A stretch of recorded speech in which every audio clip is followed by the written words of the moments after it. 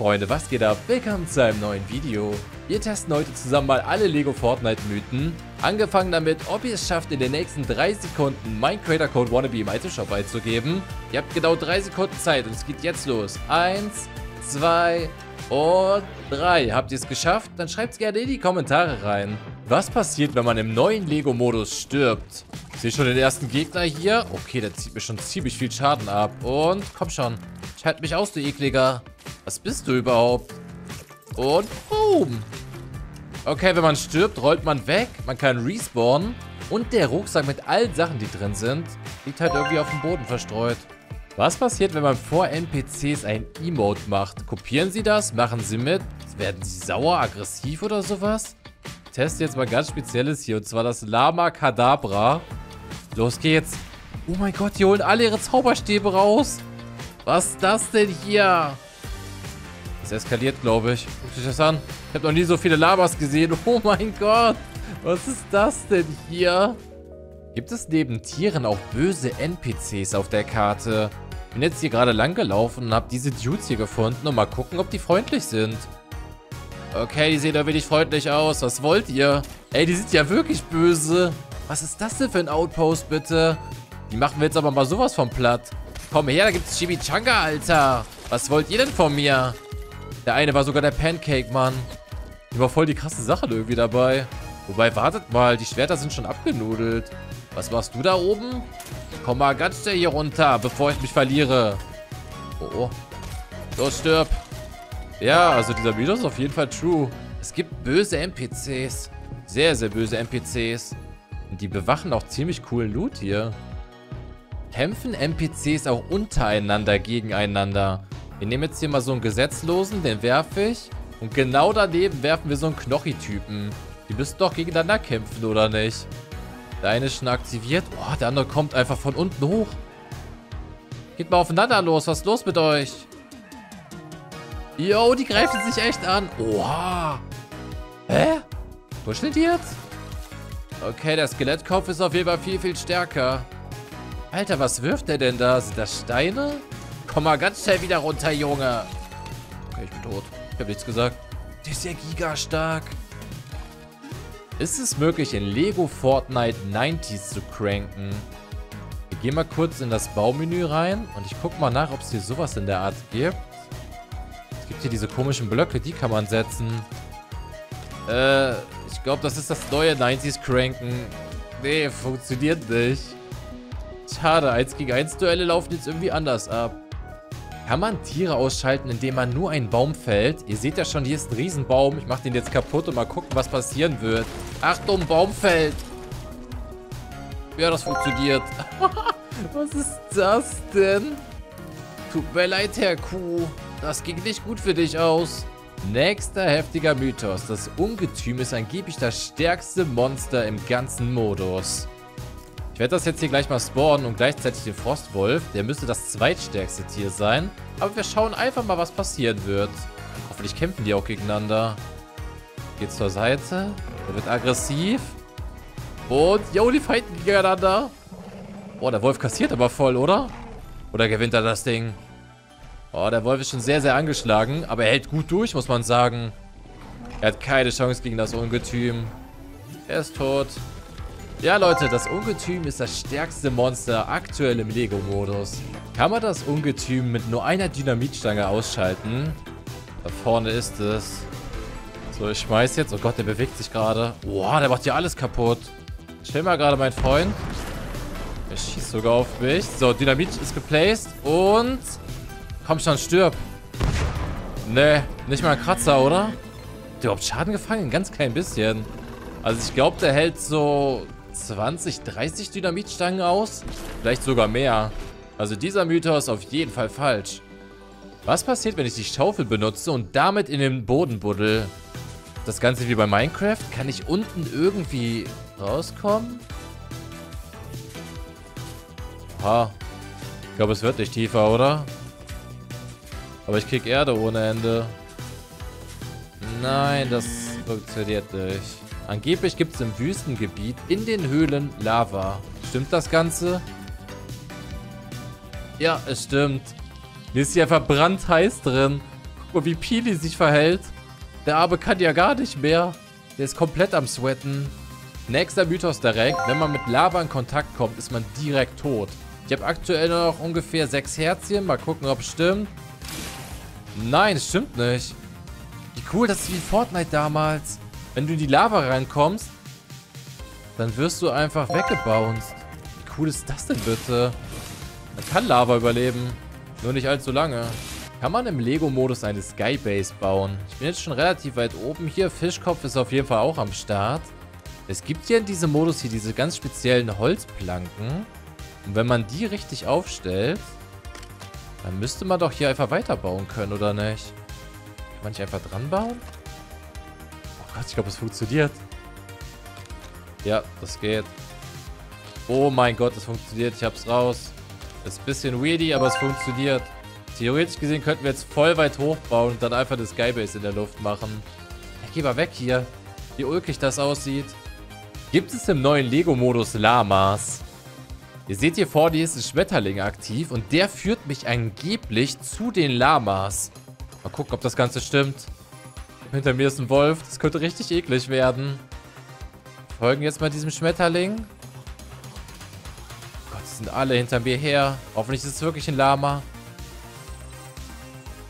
Und, oh mein Gott, da hinten ist wirklich ein Loot-Lama.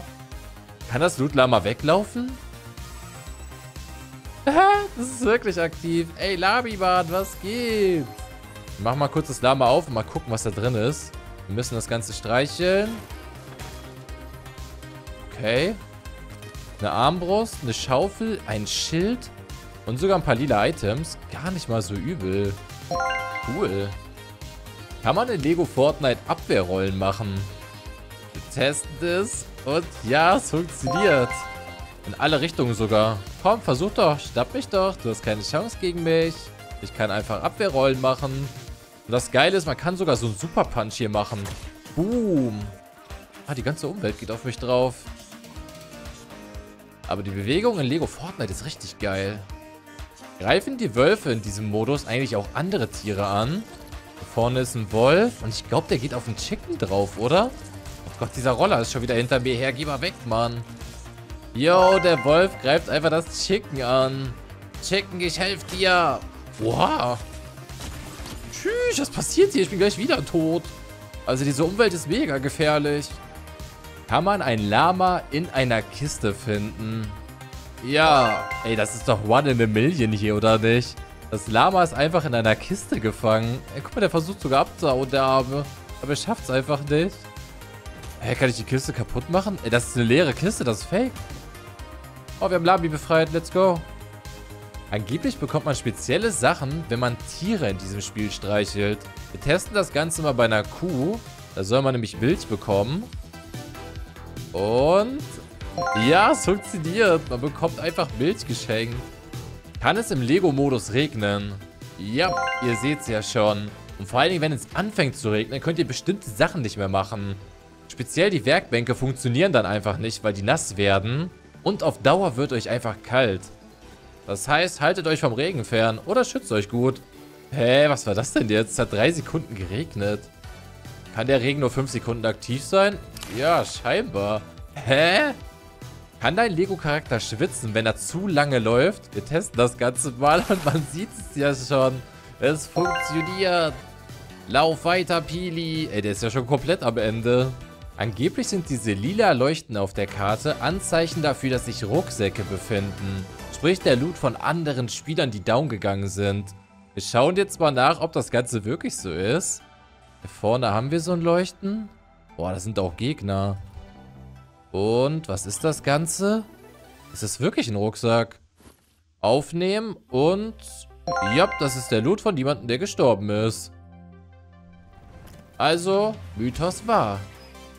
Angeblich kann man bis zu 16 Leute auf seine neue Lego-Map einladen. Wir testen das Ganze mal. Dazu muss man nur auf Spieler gehen, Spieler einladen und hier steht schon nur 7 Schlüssel verbleiben. Ich glaube, man kann nur 8 Leute insgesamt auf der Map haben. Da steht's auch. In der Welt sind nur 7 Plätze übrig. Geht also nicht. Werden neue Spieler auf der Karte angezeigt? Wir sind jetzt hier nicht mehr alleine, gucken nach und ja, die werden auf der Karte angezeigt. Kann man seinen Teammate Schaden zufügen? Testen das jetzt mal. Nein, funktioniert nicht. Kann man im neuen Lego Sandbox Modus fliegen? Wir testen das Ganze mal und... Ja, es funktioniert einfach. Oh mein Gott. Sieht aus wie ein Stranger Things hier. Guckt euch das an. Kili kann einfach fliegen. Dieser Mythos ist wahr. Aber lasst uns jetzt mal zusammen herausfinden, wie hoch kommt man im neuen Modus. Was ist die maximale Höhe? Kommt man vielleicht sogar irgendwie ins Weltall? Das wäre richtig geil, oder? Ich bin jetzt schon ziemlich hoch. Man kann jetzt zum ersten Mal auch sehen, wie viele verschiedene Biome es hier gibt. Und ich muss sagen, es sieht sehr, sehr geil aus. Wir haben Eis, die normale Landschaft. Da hinten haben wir dieses Sandbiom. Und hier ist Max Height, Leute. Also nicht nur, dass es überhaupt eine maximale Höhe gibt. Das hier ist sie auch. Wir können jetzt direkt herausfinden, was passiert, wenn ich aus maximaler Höhe runterfalle. Sterbe ich dann? Das Ganze ist jetzt nur im Sandbox-Modus. Wir werden es gleich noch im normalen Modus testen und... Okay, hier überlebt man auf jeden Fall. Chili Billy. Was passiert, wenn man Schafe streichelt? Da vorne sind zwei, hinter mir ist eine Spinne aktiv. Hallo Schafi. Und... Haben schon Drop irgendwas? Hä, der gönnt gar nichts? Geh doch mal weg hier. Ey, ich sag euch, diese Spinnen, ne, die nerven mich schon unnormal. Angeblich befinden sich in Truhen richtig geile Sachen. Hier vorne ist eine Truhe. Wir testen es mal. Oh Gott, was ist denn hier drin? Wolle, Weizen und Kürbis? Das ist aber kein guter Loot. Vielleicht auch nur eine Schmalspur-Chest. In den letzten Tagen habe ich ja schon davor gesprochen, dass es demnächst auch legendäre und mythische Items hier geben soll. Und wir werden jetzt zusammen mal herausfinden, was ist der seltenste Gegenstand aktuell in Lego Fortnite. Und zwar müssen wir dazu nur auf alle Gegenstände gehen. Und wir sehen schon, das höchste ist gerade episch. Es fängt an mit gewöhnlich, dann ungewöhnlich, dann das blaue und am Ende haben wir das lilane. Rüstung gibt es übrigens noch gar nicht, aber ich denke mal, das wird in nächster Zeit alles reinkommen. Das heißt, das seltenste Schwert, was wir gerade im Spiel drin haben, ist einfach das epische Langschwert. Kann man einen Wolf mit einem epischen Langschwert mit einem einzigen Hieb ausschalten? Hier vorne ist einer und... Oha, es macht 9 Damage. Nein, man braucht zwei Hiebe dafür. Kann man einen Wolf mit einer Ladung Dynamit ausschalten? Ich werf's mal. Mal gucken, ob er drauf geht. Ey, bleib stehen. Komm schon, komm zurück. Ach, verdammt mal, der läuft weg. Du sollst stehen bleiben. Komm her. Er ist zu schlau irgendwie. Ich werfe mal ganz viele hier. Jetzt aber. Stirb doch durch die Ladung. Ich glaube, ich gehe gleich drauf. Bald das jetzt einfach ganz lange der Hand. Und... Wow, er ist direkt kaputt gegangen. Das funktioniert auf jeden Fall. Also Dynamit ist richtig stark in Lego. Kann man sich mit Dynamit selber in die Luft jagen? Ihr wisst ja, genauso wie in Fortnite, man kann das sehr, sehr lange in der Hand behalten. Wir gucken mal nach. Ja, das funktioniert. Ist es möglich, in diesem Modus runde Steinbrocken zu bewegen? Hier vorne ist einer. Der sieht ja voll aus wie ein Fortnite, Mann. Und ja, wir können ihn runterrollen lassen. Ich sag euch, wenn da jetzt ein Feind gewesen wäre, der wäre Matsche gewesen. Gibt es standardmäßige Lagerfeuer im Spiel? Ja, hier ist zum Beispiel eins. Und es scheint nicht so, dass es durch das Wasser bzw. durch den Regen ausgeht. Bekommt man Feuerschaden, wenn man in ein Feuer geht? Äh, nö. Bekommt man nicht. Geht nicht. Kann man das Feuer kaputt machen? Ja, das funktioniert. Können Steine in der Luft spawnen? Ja. Hä, was ist das denn bitte? Kann man in diesem Modus schwimmen? Ihr seht schon, hier vorne ist ein riesengroßer See. Was passiert, wenn ich reingehe? Ja, es funktioniert, man kann schwimmen. Ja, was geht denn da vorne ab? Ey, da prügeln sich NPCs untereinander. Hallo, ich bin irgendwie untergegangen. Hä, was war das denn gerade? Kann man untergehen im See? Hä? Wenn man zu lange auf Wasser schwimmt, bekommt man ein angeblich schwarzes Bild. Wir testen das Ganze mal. Ich weiß nicht, wofür das Ganze gut sein soll. Ey, hoffentlich erfriere ich jetzt nicht. Muss mal kurz was essen. Okay, Wasser kann man nicht essen. Dann schwimmen wir jetzt einfach weiter. Ich will wissen, was passiert. Es passiert wirklich. Und man stirbt danach einfach. Angeblich gibt es auch im Lego-Modus den Grappler. Und ich kann euch sagen, ja, den gibt es wirklich. Also dieser Mythos ist auf jeden Fall true. Und das Ganze funktioniert auch wie der normale Grappler aus Fortnite. Ihr habt 10 verschiedene Schüsse zur Verfügung. Könnt euch eigentlich überall festmachen. Ich glaube, der ist sogar noch schneller als in dem Modus. Sieht jetzt sehr, sehr ulkig aus. Geht er auch hier? Ja, perfekt. Gibt es im neuen Lego-Modus ein Ende der Karte? Ich werde jetzt die ganze Zeit einfach straight in diese Richtung fliegen. Ihr seht ja schon, ich werde das hier alles nach und nach aufdecken. Und wir gucken mal, ob irgendwann diese Karte endet. Und mal schauen, wo wir rauskommen. Vielleicht in Chapter 6, 7 oder vielleicht sogar in Lego 2.0. I don't know. Boah, es wird gar nichts passieren. Ey, wie weit geht das noch nach vorne, bitte? Das Ende der Karte ist grenzenlos. Nein, das ist doch nicht. Wir haben es erreicht. Das hier ist einfach das Ende der Karte. Ich kann euch jetzt nicht genau sagen, wie viele Kilometer das ist, aber ihr seht ja selber, da ist das Festland einfach. Und hier ist dann das Ende. Es ist sehr viel weiter als auf der normalen Fortnite-Karte. Und wahrscheinlich so GTA-like, Minecraft-like. Aber ihr könnt auf jeden Fall nicht ewig weiterfahren. Das hier ist das Ende. Gibt es Geysire? Das da vorne sieht zumindest aus wie einer. Ich bin mal gespannt auf was passiert, wenn ich mich jetzt draufstelle. Man wird hoch in die Luft geschossen. Aber man kann halt nicht fliegen, weil man keinen Gleiter hat. Aber wartet mal, ich kann Gleiter auswählen. Was passiert, wenn man einen Geysir benutzt und gleichzeitig einen Hängegleiter hat? Funktioniert das dann ganz normal wie in Fortnite und man gleitet? Yo, oh mein Gott, es gibt wirklich einen Lego-Hängegleiter. Und wie cool sieht der bitte aus? Let's go, ich fliege aus dem Weg schicken. Da hinten ist der nächste Geysir. Gibt es Gold oder Golderze? Das da vorne sieht auf jeden Fall so aus wie Gold. Und wir werden jetzt mal versuchen, das abzubauen. Das funktioniert schon mal. Was kommt dabei rum? Das ist nur roher Bernstein. Ein Edelstein, den man auf den Tafelbergen im Dürretal finden kann. Nein, das ist kein Gold. Das ist irgendwas anderes. Gold gibt es aktuell noch gar nicht in diesem Modus, glaube ich. Kann man diesen Modus ertrinken? Geht das Ganze? Oder ist das wie bei Fortnite? Nein, scheint nicht zu funktionieren. Oh Gott, ich bin verloren. Guck mal, wo ich bin. Irgendwo am Ende der Karte. Ich werde hier nie wieder wegkommen. Kann man sich im neuen Lego-Modus selber ausschalten. Und ich meine jetzt nicht, dass man irgendwo runterspringt oder sowas, sondern ich meine, dass man hier irgendeine Taste dafür drücken kann. Geht das? Hier vielleicht? Äh, das sieht irgendwie nicht so aus. Ich bin dir absolut geliefert. Ich komme hier nicht mehr weg. Was soll ich machen? Nein, ich bin für immer verloren hier. Ich sehe halt nicht mehr was. Okay, oder ich bin einfach tot. Hä? Wieso bin ich gestorben? Schreibt es in die Kommentare rein, wenn ihr es wisst. Weil dann seid ihr echt clever. Kann man Eier werfen? Und falls ja, kann man die gegen NPCs oder Spieler werfen? Ah, ich will es nicht essen. Ja, es geht auf jeden Fall scheinbar nicht. Kann man im neuen Lego-Modus sowohl Pizza als auch Burger craften? Die Antwort drauf ist ja, es gibt den pikanten Burger und auch gleichzeitig die Pizza. Und schaut mal bitte, was passiert, wenn ich die Sachen esse. Die gehen richtig ab. 3, 2, 1, boom und... Ey, wie viele Herzen habe ich dazu gewonnen? Einfach fünf weitere. Jetzt hauen wir uns den Burger noch rein, dann geht's richtig los.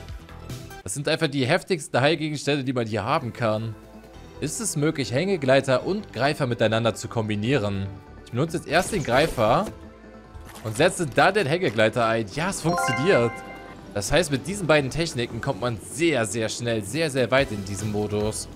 Kann man eigentlich auch angeln? Ihr seht ja, hier ist ein riesengroßer See. Wir fliegen mal kurz drüber. Ich sehe auf den ersten Blick auf jeden Fall nicht, dass da Fische drin sind. Wir können ja mal nachgucken, ob es eine Angel gibt. Können auf alle Gegenstände gehen. Hier gibt es schon mal keine.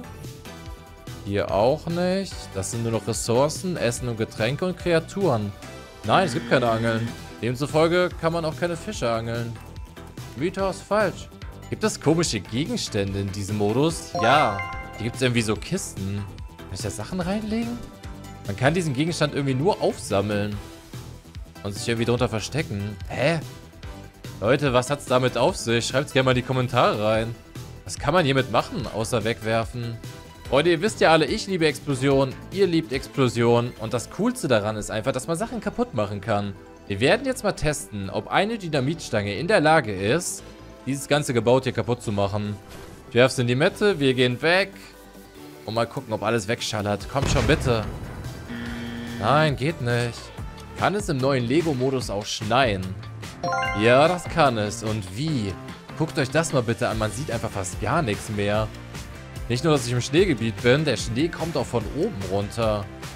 Vor mir befindet sich gerade ein blaues Feuer und laut eines Mythos soll das einfach der Enderdrache aus Minecraft sein. Wir fliegen jetzt mal nah dran und mal gucken, was das Ganze wirklich ist. Kann das sein oder kann es nicht sein? Gott, ich bin gleich da. Das ist ein blauer Lichtstrahl. Das ist gar kein Feuer. Was soll das sein? Ey, sag nicht, das ist wieder ein Rucksack. Es ist halt so dunkel, ich sehe nicht mal, wo ich bin. Das ist über Wasser? Hä? Was ist das? Oh mein Gott. Es ist der Rucksack, den ich gerade geplaced habe. Hier ist einfach das Ende der Karte wieder wahrscheinlich, oder? Okay, den Enderdrachen gibt es auf jeden Fall in diesem Modus nicht. Ich glaube, es gibt überhaupt keine Drachen. Ist der Lego Fortnite-Modus aktuell der beliebteste Modus in ganz Fortnite? Wir gucken nach und ja, er ist es. Es spielen 2,2 Millionen. Zum Vergleich, Battle Royale spielen gerade mal 680.000. Sowohl im Ranked als auch im normalen Modus.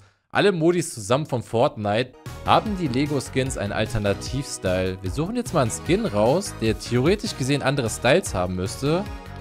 Sowas wie Agent Jones hier. Aber wir können es nicht bearbeiten. Nein, derzeit hat jeder Lego-Skin nur genau einen einzigen Stil. Gibt es schwarze Schafe in diesem Modus? Ich bin hier gerade rumgelaufen im Schneegebiet und guck mal bitte, es gibt wirklich schwarze Schafe einfach. Bist du auch ein schwarzes Schaf? Dann lass es mich in den Kommentaren wissen. Aber wartet mal, droppen die dann auch schwarze Wolle? Bleib stehen. Her mit der Wolle. Nö, die Wolle ist weiß, oder? Ja, Hä, macht ja gar keinen Sinn. Kann man Brücken sprengen? Ich habe hier einfach random gerade so eine Brücke gefunden. Jetzt gibt es ein bisschen Dynamit und mal gucken, ob es kaputt geht. Im normalen Modus sind die Brücken unsterblich. Aber hier kracht es auf jeden Fall. Boah, die gehen wirklich voll kaputt. Das ist euer Ende. Züge werden hier niemals langfahren, solange ich Dynamit hier dabei habe. Wenn man Dynamit ins Wasser wirft, funktioniert es angeblich nicht mehr. Stimmt dieser Mythos? Ja. Es geht einfach instant aus.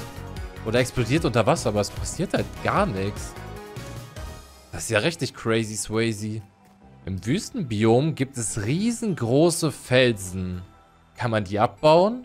Beziehungsweise kann man die wegsprengen? Ey, hier oben ist sogar eine Kiste. Egal, ich schmeiß trotzdem Dynamit drauf. Los, explodiere. Nö, funktioniert nicht, die sind unsterblich. Laut eines Mythos gibt es legendäre Kisten im Spiel. Ich bin hier gerade lang gelaufen und gucken, was ich gefunden habe. Und schaut euch mal an, wer das hier bitte ist. Ist das ein Fischkopf? Wer baut denn sowas hier bitte auf? Das ist ja gespenstig, Mann. Egal, wir machen die Kiste auf und gucken, was drin ist.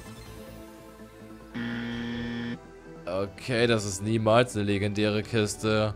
Die sieht zwar aus wie eine, aber die kann hier überhaupt nichts. Da war einfach nur Schrott drin. Machen wir weiter direkt mit dem nächsten Mythos. Und zwar gibt es Fallschaden in diesem Modus.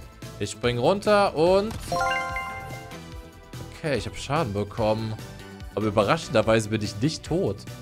Freunde, das waren die heutigen Lego-Mythen. Falls ihr weitere habt, schreibt sie gerne in die Kommentare rein. Wir hören uns im nächsten Video wieder. Haut rein, bis zum nächsten Mal.